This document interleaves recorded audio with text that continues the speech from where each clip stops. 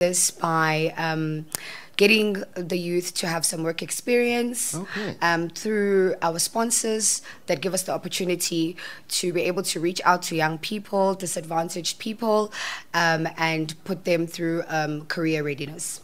To gain practical experience. Yes, this would be your practical experience, including your theory, uh, because we do have um, SETA accredited um, institutions that will then um, give these young people some theory experience. Do, do you work just as an independent organization out there, or is there a link between your organizations, U Economy slash Unlocked, I like the name, Yes. with, with government that assists you to penetrate the, the, the, the work industry? Yes, so we are um, rolling out um, um, um, a project that is initiated by the president.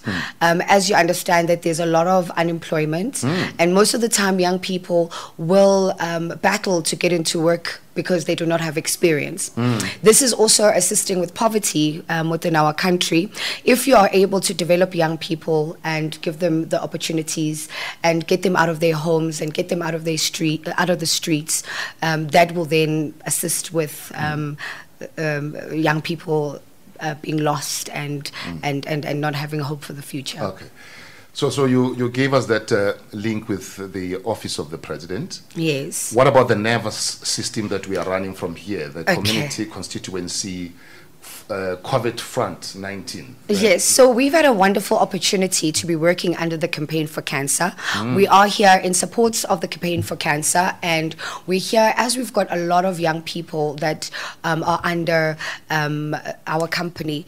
Um, so we are here to assist in terms of getting information, it's data of what is going on out there, what people have been experiencing during this period. There's various things that are affecting people, and these things can start from um, hunger, um, and it can be people with chronic diseases sitting at home. It's, it can be the elderly people. We've also been seeing a lot that people have been facing a lot of. Um, uh, violence that can be coming in different forms, whether it's uh, within a household, whether it's um, within the police, people being on the streets, people being beaten up. So there's various things, people working and um, uh, people not working. Um, there's various things that are affecting communities and people during this period. So we're collecting the data. And We've- feed to the- and feeding into to nerve um, center, the yeah. nerve center. So this information is very, very crucial. It's done through surveys, but it is going out there and getting understanding as to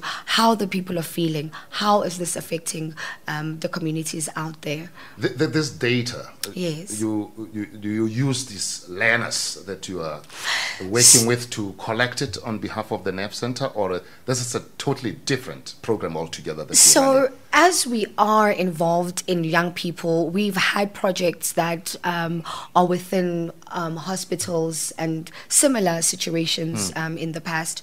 So, yes, um, we are giving our young people hope to be busy, to be proactive during this period. And also, um, this will assist the young people not to be sitting at home, and it will also assist them to have some kind of income and food. So there is, there's a lot of people that are needed to be out there to to collect information, to to to to to be there, um, helping old people find their medication, various things that are going on. So it is um, our network of about um, we've got about three thousand youth um, under our care. Okay, those are the ones that you have to place in So different these platforms. So 3,000. Yes, we've got about 3,000 young people. Um, so I handle a division which is called um, staffing and absorption. So staffing and absorption basically means that you go out, you find these amazing um, companies with um, people that are willing to develop their young people and give them work experience in various departments within their companies. Interesting because uh, we, we talk about unemployment and, and it's, a, it's a major, major problem, even before COVID. Yes. I mean, I don't know. South Africa was talking close on to 30% unemployment, or the numbers just keep on changing all the time. Yes. The, these companies, what, what's in, in for them? To, for them to be proactive and uh, open their arms? And do they come forward, or do you have to go and find them? Or Is there a database of saying, we welcome young people to give them training. How does it work? And, and the incentive that these companies get So- fr- from doing that. Yes, so we actually we go and um, we're a platform that works um, around the clock in terms of the opportunities of getting funding, the opportunities of finding these young people um, companies to give them this uh, particular experience. So I would myself approach various companies and have a full discussion with them around developing young people, and then they buy into the concept. Some of our sponsors, we've got major big sponsors, um, well known brands, and these brands sometimes will sponsor as well as give experience. So I will go and approach a company, have a discussion with them around the type of young people that we have. Um, um, interestingly enough, um, we actually find that um, companies are willing Yes. to, to give people experience, especially because now we have covered, we've, we, we've got the platform where we've covered um, the, the young people getting to uh, work, the young people having food in their tummies um, when they're at work and when they're at home. So we give them enough for them to get to work. Stipend. To, that's the stipend. So when I come to a company and I ask them, I've got 10 young people um, and I'd like to develop them within the IT space, and I have a conversation with the director of a company, he is getting these, these young people at no cost.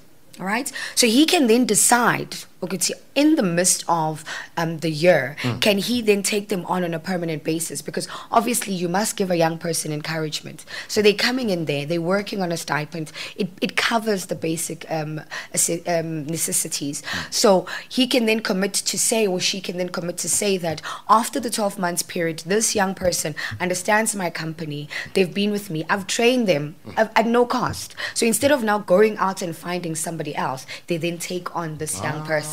So that's then the benefit for them because you get an opportunity to introduce From somebody.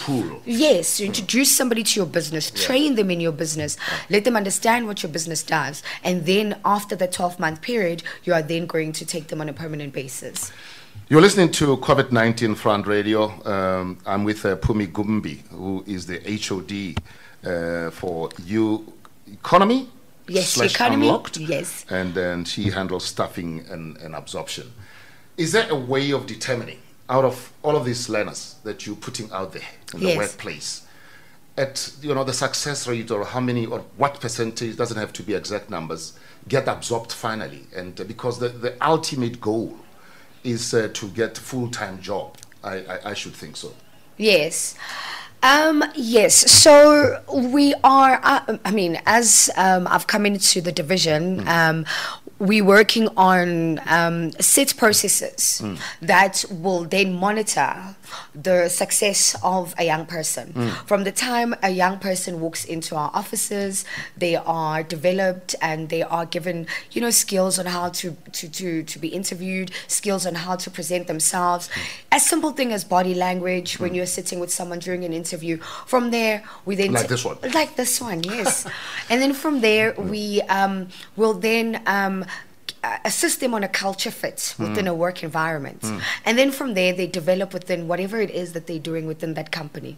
When that process is finished, they, I mean, our hosts give in reports to say this is how that learner's doing, so that we've got our hands into the progress of the young person.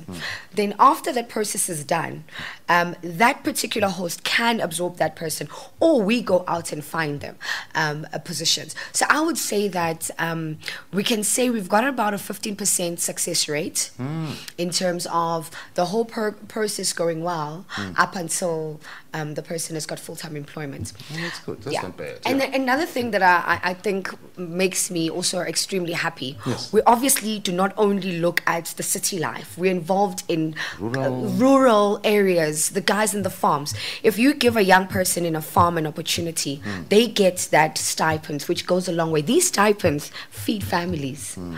Um, and if that young person is working in a farm, they can learn how to grow their own vegetables within the 12 months. Hmm. When they finished, um, they can then um, be able to be a farmer themselves.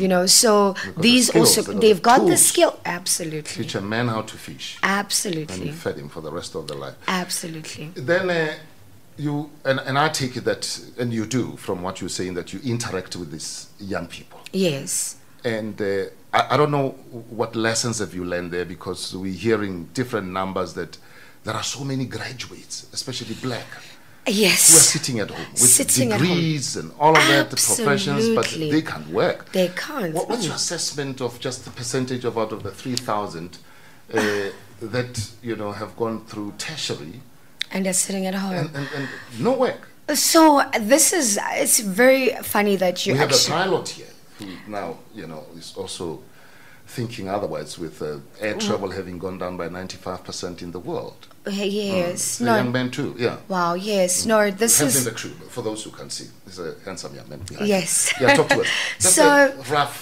yeah so this is something that's very close to my heart um, especially since i've joined my organization um, i have these discussions with my team quite a lot and it's very funny that you're mentioning it um, i think that a person who has gone and studied, made the effort, and committed themselves to um, getting a degree, committed themselves to learning a skill. They deserve that opportunity. They are. Um, I feel they are one person that you can uh, calculate a success rate in the program because already they've shown some level of high commitment towards developing their own lives. I feel a person like that, there is a, a huge number.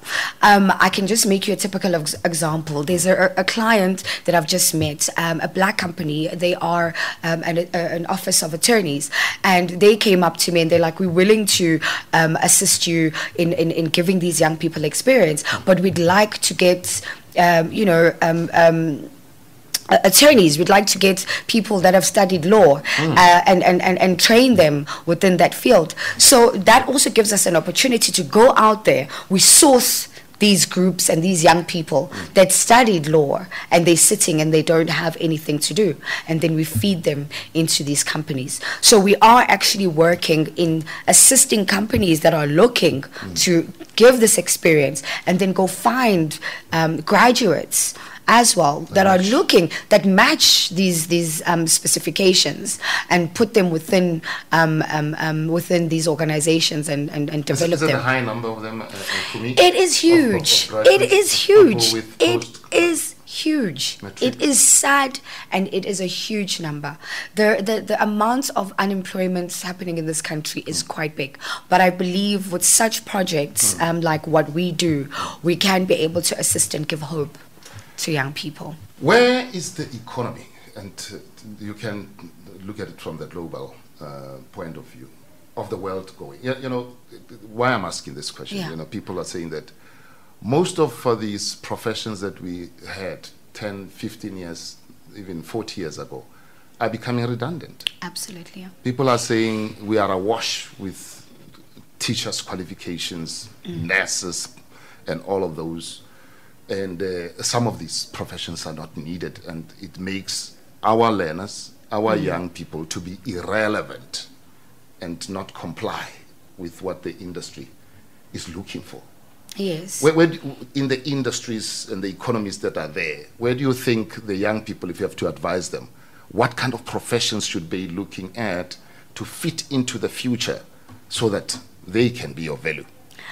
Um, so we're going into a digital space, um, um, the whole entire world globally. Um, and we also, I would also encourage young people to look into, um, you know, look into our land, look into Agriculture. agriculture, yes, look into farming, um, and look into the IT space. Um, I, I'm a, a, recruiter for, for, for many years, um, and I would say that, you know, I've done recruitment within a bank, and then we go through a recession, and the IT sector booms because new systems have to be developed. They're closing branches now. You They're can- closing branches, but they're working. Yes, but we're working with technology. We we're working Hmm. with um, you know everything is going digital. So if you can look into that space Hmm. um, as a young person, but I would also not discourage young people to get into teaching, young people to get into nursing. Um, I would encourage that people follow Hmm. the things that they've got a passion for you know and, and and and as you follow something that you've got a passion for remember that looking for a job is a job itself Hmm. right so if you are unemployed you are are looking, you are, you've got a job. And that job is to find a job and develop yourself. Nothing in this world is easy, anyway that you go. So I'd say that focus, study, um, choose a career, and um, whatever you do, um, look at what is happening globally. Look at where the spaces are. We do have, um, you know, a shortage in certain skills um, look into those shortages of where you know you will always be able to find some work. With COVID nineteen now, impact, Yes. the lockdown, Yes. and uh, we we are hearing all the time the, the, the negative impact is having on the economy and people being laid off. It will definitely have impact in the learnership recruitment. uh, Absolutely. directly Yes. of all of those students that are at home. They don't know if they're going to write exams. Yes. And then you, you come into the industry where now gradually we are opening uh, the industry and we don't know what is left of it. yes. There are strict rules there to comply with. Yes. There must be social distancing Yes. uh, when at the workplace and all of those things. Obviously, I mean, companies are not going to absorb more learners when you must create spaces in between. yes. How, do- how do you see that unfolding going in, into the future? And, and what's been the response? I don't know if you are operating under Yes. lockdown or what's going on. Yes. Are they reluctant? and uh, how's the absorption rate? And, and what do you think? So, so the, there's various sectors. Yes. Various sectors. There is essential services. Yeah. There are companies that are not so much essential services. So I would say that there are sectors that need to be working. For an example, let's say our farmers, because we need food. Yeah. These are sectors that can encourage uh, some kind of movement um, within this period there are set rules. For an example, um, you know, we're looking at people having permits, uh, PPE, um, social distancing, creating an environment that is safe for your workers when they come in, sanitizing, um, thermometers. Masks. So there's various things that um, need to be done in order for people to come back into a work environment. And then there is people that are, you know, operating from home. Please do operate from home as much as you can. And we need to encourage, um, you know, the entire situation of being able to do your Skype interviews, do your hangouts, um, operate from the house. But it will make the employers, for me, sorry to chip in there, Mm. uh, to be reluctant to absorb learners, especially when, you know, So the, the uh, okay. uh, and then crowd the environmental, uh, I mean, the, the work environment. So uh, we've got the Department of Health. Um, we we are um, right now we are in the opportunity of working with the campaign of cancer. There are sectors that are needed Yes. where young people can fit in and be able to be out there and work. But when it comes to um, you know your private companies and so forth, um, yes, this is going to have a major impact. It's literally there's no movement that is going on at this point at this moment. Okay. There, there's also been, just lastly, um, uh, debates about this stipend and, uh, you know, this uh, having to gain experience and skills. And some political parties, whether they want to gain some points or what have you, saying that there must be minimum wage, even for these learners. Minimum wage. Yeah, there's a right. And others saying that you cannot be talking minimum wage when there's unemployment. We're taking the youth out of the streets, and they must just be happy with the little that they get. Wh- Where, where do you stand? So, so with the stipends, it's actually not a salary. Say, so it's not a wage. A stipend is to give you money to be able to travel to work, give you money so that you're not starving at work, give you money so that you can buy that new pair of pants, so that you look. Iskaftini, impahla zokugqoka, imali yokugibela. ukuze ukwazi ukuthi ufike emsebenzini ufane nabanye abantu bonke. So that is what the stipend is for. Obviously it stretches because we know it feeds families but i would not If not abused. Yeah. well, I think it's just enough. Yeah. And I think that it's enough for somebody to say that I am learning and I'm growing and I've got, um, like, I've got something to, to hold me through. Um, so I, would say that uh, our young people should rather be, um, you know, I, I, think there's a lot of Im- implementations that have been put in place in various times in our in our in our life in our lives. This is one that we should uh, be grateful for. Kwame Gwimbi, we thank you for being with us. Thank and, you. Uh, I take it that is, is not the last time we speak to you. Absolutely. And uh, I'm glad you're part of this NEVA system. Thank and uh, from time to time, we'll be uh, talking to you with what you do, the cancer campaign, and Yes. many other things if there are other developments on the learnership side. Yes. Yeah. All the best, and uh, we wish you luck. Thank you so much. Yeah, there was a uh, Phume Gumbi, HOD, and for staffing and uh, absorption from U Economy at slash unlocked, talking to us right here on COVID 19 Front Radio. And I'd like also to thank my colleagues. The station manager is uh, Denny Mwalusi, producer Kenny Mudise, uh, content creator is Fofole Refolo, and uh, technical engineer Steve Kosi Ramohama. And uh, I am Lawrence Tabani. Don't forget to remain vigilant and adopt good personal hygiene practices throughout this uh, lockdown and COVID 19 that has embraced the world. Thanks.